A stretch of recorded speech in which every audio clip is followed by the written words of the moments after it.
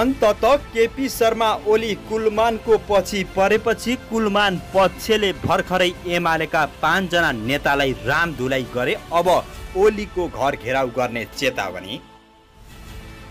भ्रष्टाचारको मुद्दामा दोषी ठहर भएका चुडा मणि शर्मा दिल्ली बजार कारागार चलान।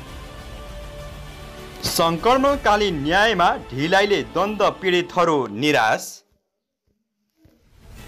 एमालेसँगको सत्ता गठबन्धन चुप लागेर बस्नका लागि होइन महामन्त्री शर्मा। सुनका गहना चोर्ने सालेक राम पक्राउ। टिआरसी विधेयक पीडित मन्त्री छ गृह मन्त्री लेखक। केपी शर्मा ओली कुलमानको पछि लागेपछि आक्रोश हुँदै बालेन शाहले यस्तो भन्नुभयो। एकाएक रासोपाका सभापति रवि लामी छानेले देशभर सुरु गरे यस्तो घोषणा। र ओहिलेसम्म पाँचवटा जिल्लामा हैजा पुष्टि सङ्क्रमितको सङ्ख्या सडतालिस पुग्यो। आजको यो भिडियोमा यो सब अपडेटले हजुरमा आज उपस्थित भइसकेको छु। यो सब जानकारी पाउनको लागि भिडियोलाई सुरुदेखि अन्तिमसम्म फलो गर्नुहोला। केही सुझाव सल्लाह छ भने तल कमेन्ट गर्नुहोला। भिडियोलाई सक्दो सेयर गरी सबै नेपालीसम्म पुर्याउन मद्दत पनि गर्नुहोला। हजुरको एउटा सेयरले गर्दाखेरि धेरै नेपालीलाई केही न केही जानकारी मिल्नेछ। मैले आफूले जानेका बुझेका कुराहरू हजुरहरूलाई बताउने गर्दछु। नयाँ आउनु भएको छ अझै पनि हाम्रो यो नेपाली अनलाइन युट्युब च्यानलसँग जोडिनु भएको छैन भने सब्सक्राइब र साथमा रहेको घन्टीलाई दबाई हामीसँगै जोडिनुहोला। अब ढिला नगरिकन लागौँ आजको विषय वस्तुतिर दर्शकबिन भ्रष्टाचार मुद्दामा दोषी ठहर भएका सहसचिव चुडा मणि शर्मा दिल्ली बजार कारागार चलान भएका छन्। बिगो रकम बुझाउन नसकेपछि उनी कारागार चलान भएका हुन्।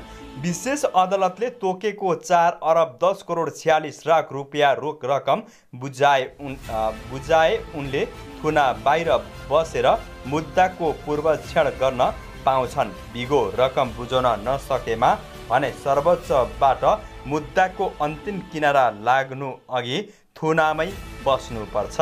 शर्मा भएको बुधबार सर्वोच्च अदालतमा पुनरावेदन गर्न उपस्थित भएका थिए। कर पछ्यौट आयोगमा छँदा व्यापारीलाई ठुलो रकम छुट दिएको प्रकरणमा शर्मा दोषी ठहर भएका थिए।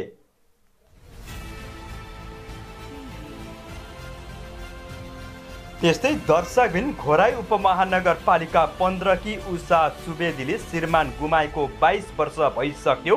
देशमा सशस्त्र द्वन्द अन्त्य भएको अठार वर्ष भयो। त्यति बेलादेखि उषाले सुत्न सुन्न थालेको सङ्क्रमणकालीन न्यायको कुरा अझै चलिरहेको छ। नेपाल प्रहरीमा कार्यरत उनका श्रीमान दुई हजार उन्साठीमा तत्कालीन विद्रोही माओवादीद्वारा रोल्पामा मारिएका थिए न्यायका लागि बोल्दा बोल्दा उनी थाकिन् वर्षौँसम्म पीडितहरूलाई रुहाउने मात्रै काम भएको छ। हाम्रा पुराना घाउ बेला बेला कोट्याउने काम गरिन्छ तर न्याय केही पाइँदैन उनले भनिन्। छोराछोरी पढाउन समस्या छ न न्याय पाइन्छ न जीवन चलाउन सहज रहेको छ। सङ्कलनकालीन न्यायमा कार्यरत संस्था नेपाल फेस बिल्डिङ इनिसिएटिभले शुक्रबार घोराईमा आयोजना गरेको न्याय र पुरी पूर्णमा मिडिया संलग्न र फेलोसिप कार्यक्रममा बोल्दै उनले अब न्याय पाउने आशा मरिसकेको बताएकी छिन्। सरकारले द्वन्द पीडितका लागि कुनै प्रभावकारी कार्यक्रम नल्याइएको उनले गुनासो गरे। धेरै पीडितहरूका बालबालिका पढ्ने वातावरण नभएर दुर्व्यसनमा समेत फसेका छन्। यसले आमाहरूलाई छन पीडा दिएको छ उनले भनिन्। सरकारले पीडितका बालबालिकाहरूको उच्च शिक्षाका लागि केही पनि सोचेन। यसले धेरैको पढाइ अल्पत्र परेको छ। दण्ड पीडित सञ्चालन दाङका अध्यक्ष प्रकाश चौधरीले यति लामो समयसम्म पनि पीडितहरूका घाउ पुरानो हुन नसकेको बताए। अझै पनि पीडितहरूमा आक्रोश छ अन्याय भएको महसुस गरेका छन्। उनले भने विभिन्न आयोगमा आयोगका नाममा निवेदन लिने काम मात्रै भयो। लामो समयसम्म कुनै पनि संशोधन भएन। यसले न्यायप्रतिको आशा कमजोर हुँदै गएको छ। अहिले सङ्कलनकालीन न्यायलाई टुङ्गोमा पुर्याउने बारे राजनीतिक दलहरूबीच सहमति भए पनि यसको न्यायिक निरूपणमा आशंका बाँकी नै रहेको उनले बताए। पीडितहरूको सहमतिमा मात्र न्यायको अन्तिम टुङ्गो लगाउनुपर्छ उनले भने। पीडितले सहमति दिए भने कानुनी कारवाही गर्नुपर्छ। यस विषयमा राजनीतिक दलहरू तयार हुन्छन् कि हुँदैनन् भन्नेमा विश्वस्त हुन नसकेको उनले बताए। दाङमा तिन सय पैँतालिसजना दण्ड पीडित एक सय छब्बिसजना बेपत्ता र एक हजार बढी घाइते अपाङ्ग रहेको उनले जानकारी दिए।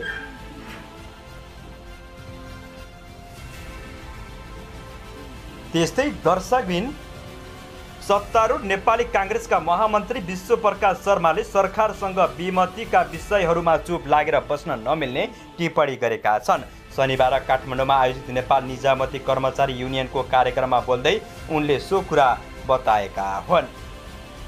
महामन्त्री समा शर्माले एमालेसँग भएका विमतिका विषयहरूलाई तिलाञ्जली दिने वा जबरजस्ती ढाकछोप गर्न खोजे। सरकार नै दुर्घटनामा पर्ने भएकाले आफूले विमतिका विषय बाहिर ल्याउने गरेको पनि स्पष्ट पारेका छन्। काङ्ग्रेस र एमाले बिच विमतिका विषयमा थाती राखेर अघि बढ्नका लागि यो गठबन्धन नबनेको उनको भनाइ थियो। महामन्त्री शर्माले विमतिका विषयमा प्रधानमन्त्री ओलीलाई मसुर होला भनेर काङ्ग्रेसले सोच्ने र एमाले पनि शेरबहादुर देउवालाई महसुस होला भनेर सोच्ने हो भने त्यसको कुनै अर्थ नहुने बताएका छन्। उनले आफूहरू बिच चुप लागेर बस्नका लागि वर्तमान सत्तारूढ गठबन्धन नबनेको दावी समेत गरे। महामन्त्री शर्माले सत्तारूढ दलहरू बिच विमतिका कैयौँ विषयहरू रहेको उल्लेख गर्दै कार्य कार्पेट मुनि धुलो छोपेर माथिबाट अत्तर छर्केर जाने भन्ने कुरा हुनै नसक्ने बताएका छन्। उनले सरकारको भविष्य काम र स्वयंतामा नियत रहेको समेत बताएका छन्। महामन्त्री शर्माले भने अहिले पनि के बिर्सिनु हुँदैन भन्ने काङ्ग्रेस र एमालेका बिचमा भएका विमतिका विषयवस्तुहरूलाई हामीले तिलाञ्जली दियौँ। हामीले जबरजस्ती छोप्न खोज्यौँ भने दुर्घटना हुन्छ। हामीले गर्ने के हो भने यसलाई सहजतापूर्वक लिने हो एमालेको हामीसँगका विमतिलाई हामीले बुझ्नुपर्छ उनले भने। हामीले चुप लाग्नका लागि यो गठबन्धन बनाएको होइन। यो गठबन्धन बनाउँदै गर्दाखेरि विमतिको बिचमा सहमति गरेर गए गएका छौँ। जति विमतिका विषयहरू छन् त्यसलाई कार्पेट मुनि धुलो छोपेर माथिबाट अत्तर छर्केर जाने भन्ने बिल्कुलै होइन। त्यस कारणले गर्दाखेरि सरकारको गतिविधिमा काममा स्वयंमा यो सरकारको भविष्य निश्चित छ। महामन्त्री शर्माले सरकारले मुलुकलाई तत्काल मुनाफा दिने खालको आयोजनाहरूको कामलाई अघि बढाउन जोड दिनुपर्ने आवश्यकता पनि औँलाए मुलुकलाई ऋणको भार बढाउने खालको आयोजनाहरूको काम अहिलेका लागि प्राथमिकतामा राख्न नहुने उनको सरकारलाई सुझाव थियो।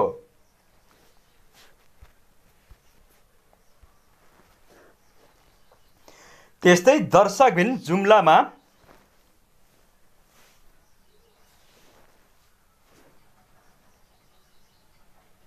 सुनका गरगहना चोर्ने चन्दनाथ एकका सोह्र वर्षीय शालिग्राम महतलाई प्रहरीले पक्राउ गरेको छ। साउन एघार गते सनलाई नगरपालिका एक काले खोलाकी शान्ति देवकोटाको घरमा राखिएको गहना चोरेको आरोपमा महतलाई प्रहरीले पक्राउ गरेको जिल्ला प्रहरी कार्यालय जुम्लाका प्रमुख डिएसपी छदीलाल कामतीले जानकारी दिए। उनका अनुसार शान्ति देवकोटा माइती गएको बेला दराज फुटाई सुनका गरगना चोरी भएको थियो। शङ्कास्पद व्यक्तिमाथि उच्च निगरानी बढाइरहेका रहेको प्रहरीले जुम्लादेखि नेपालगञ्ज जाँदै गर्दा कालीकोटको मानमारबाट मतलाई पक्रेको थियो। प्रहरीले सुन चोर्ने शालिग्रामलाई पत्रकार सम्मेलन गरेर सार्वजनिक गर्दै चोरी गरेका सामानहरू समेत सार्वजनिक गरेको छ। मयूरको चित्र भएको सुनको चन्द्रमा एक थान कानमा लगाउने रिङ दुई थान माडोली दुई थान चन्द्रमाको भाँचिएको टुक्रा तिन थान र तिन हजार तिन सय रुपियाँ बरामद गरेको थियो।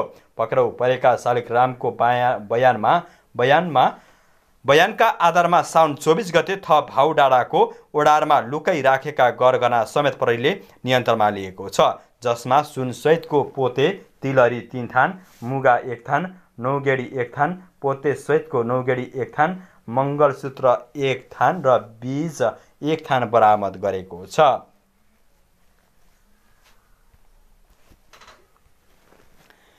त्यस्तै दर्शकबिन नेपालगञ्ज स्थित भेरी अस्पतालमा सिटी एक्सएन सिटी स्क्यान मेसिन सञ्चालनमा नआउँदा सेवा ग्राही समस्यामा परेका छन्।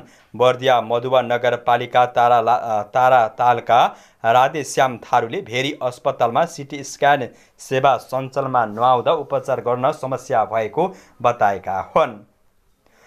यहाँ राम्रो उपचार होला भनेर बिरामीलाई ल्याइएको चिकित्सकहरूले सिटी एक्सन गर्न भनेपछि भेरीमा बिग्रिएकाले एक रात कुर्नु पर्यो। उनले भने भोलिपल्ट पनि नबनेपछि बिरामीलाई बाहिर सिटी स्क्यान गराउनु पर्यो। अस्पतालमा लुम्बिनी कर्णाली र सुदूरपश्चिम प्रदेशबाट पनि सिफारिस भएका बिरामी आउने गर्दछन्।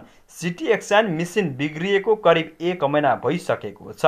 अस्पतालका प्रमुख डाक्टर प्रकाश थापाले सिटी स्क्यान मेसिन नियमित रूपमा सञ्चालनमा ल्याउन प्रयास प्रयासन रहेको जानकारी दिए। उनले शुक्रबार भेरी अस्पताल नेपालगञ्जमा आएका स्वास्थ्य तथा जनसङ्ख्या मन्त्रालयका सचिव डाक्टर रोशन पोखरेलसँग सिटी स्क्यानको समस्या देखाउँदै नयाँ सिटी स्क्यानको माग समेत गरेका छन्।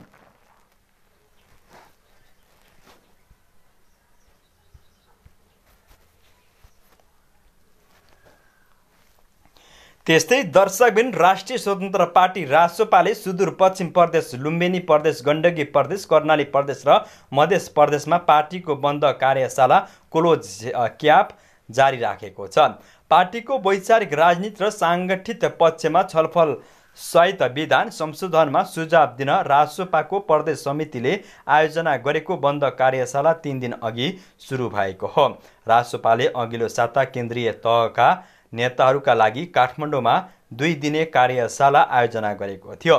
सुदूरपश्चिममा औँसी लुम्बिनीमा सत्तरी गण्डकीमा साठी कर्णालीमा तिस र मधेसमा औँसीजना सहभागी उक्त कार्यशालामा छ समूहमा विषयगत छलफल भइरहेको कार्यवाहक प्रवक्ता मनिष झाले जानकारी दिनुभयो। क्लोज क्याम्पमा प्रदेश समितिका पदाधिकारी सदस्य जिल्ला संयोजक उपसंयोजक एन्ड प्रदेश स्तरीय विभागका पदाधिकारी र सदस्य सहभागी छन् भने उनीहरूलाई केन्द्रीय प्रतिनिधिले सहजीकरण गर्ने कार्यवाहक प्रवक्ता झाले जानकारी दिनुभयो।